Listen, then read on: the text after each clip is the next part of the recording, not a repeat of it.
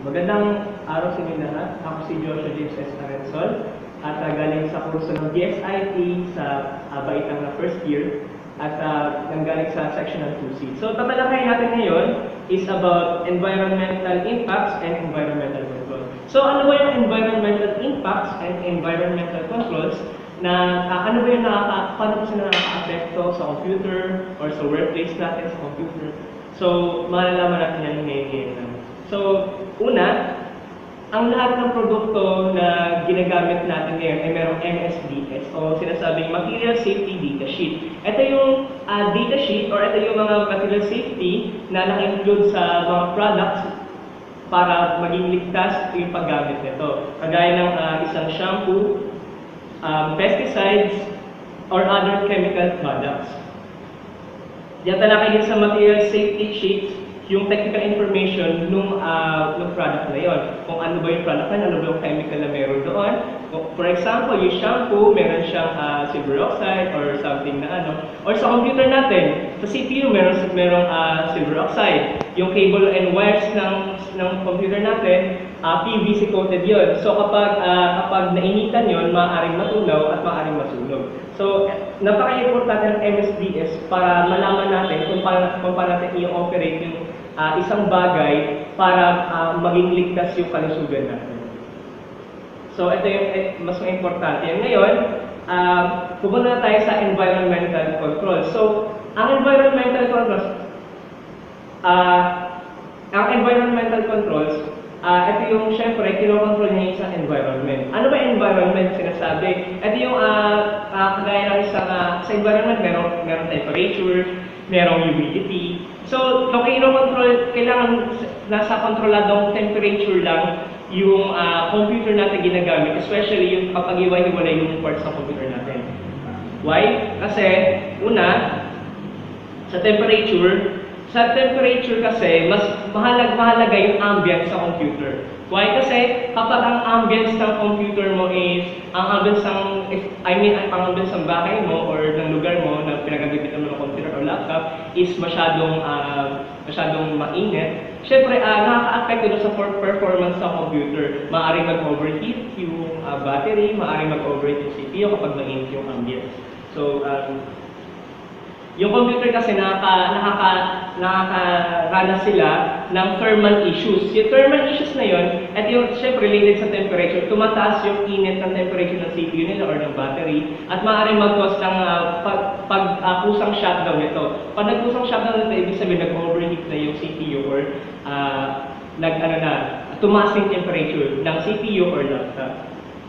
Then ang temperature dapat, uh, ang temperature dapat na ginagalawan mo na kapag gagamit ka ng computer is, ang naglalaw lang dapat siya sa 20 to 24 degrees Celsius. Yun lang yung limit na binibigay para doon sa CPU, na, uh, para doon sa computer. Para uh, maprotektahan yung, uh, yung, uh, yung uh, parts ng computer para mag, mag-process siya ng maayos. Next, sunod, humidity. So, ang humidity, ano ba yung humidity? Yung humidity, ito yung moist, moisture, uh, sabihin natin, uh, ito yung um, airborne. Ito yung air, air, airborne, water vapor from the airborne. Ngayon, para saan yung airborne? Para saan yung humidity? Simple lang.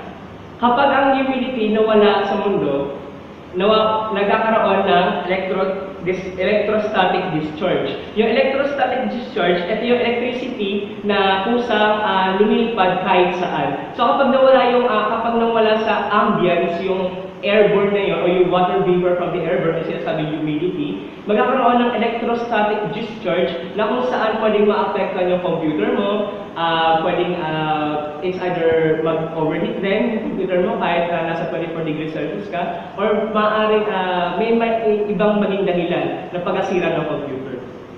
Then, ang humidity range dapat naglalaro sa 20% to 60%. Hindi pwede yung mababang humidity.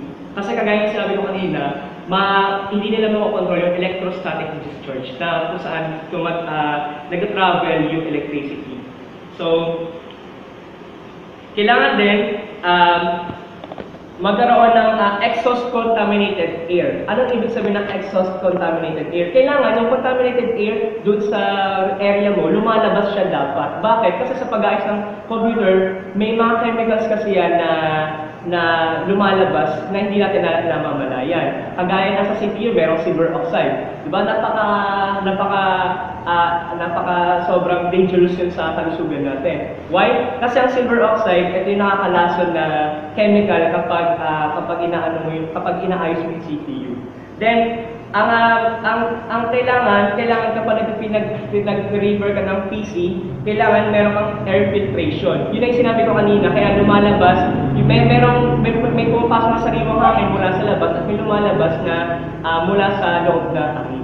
Then, pangalawa, dapat merong facilities need cleaning units or kailangan um, kailangan malinis yung facility mo. Kasi kapag once na marumi ang facility mo, ah yung dust, kagaya ng kagaya, kagaya ng dust, maaaring pumasok yan doon sa ah, ah, sa CPU mo, sa ibang parts ng CPU mo, at maaaring ma-affect yung performance ng computer. Then pangatlo, um, meron dapat ang facilities mo, meron meron dapat mask yung mga nagre-repair.